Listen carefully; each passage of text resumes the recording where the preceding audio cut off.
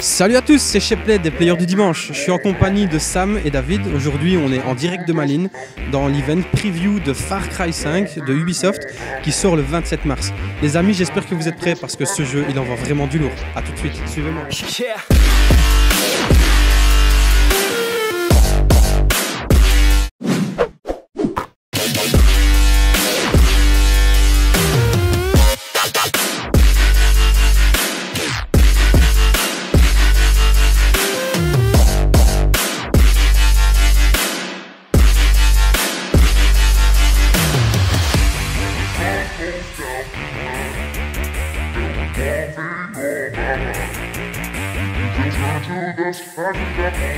Et ben voilà les amis, on revient ici avec vous pour euh, bah, le petit débrief en ce qui concerne le jeu.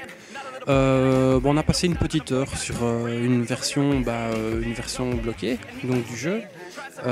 il est énorme. Les graphismes, les vidéos, franchement terribles. au niveau des cutscenes, les cinématiques sont juste superbes. Euh, la version qu'on a jouée, c'est une version en anglais. J'attends d'avoir une version française, voir au niveau des doublages.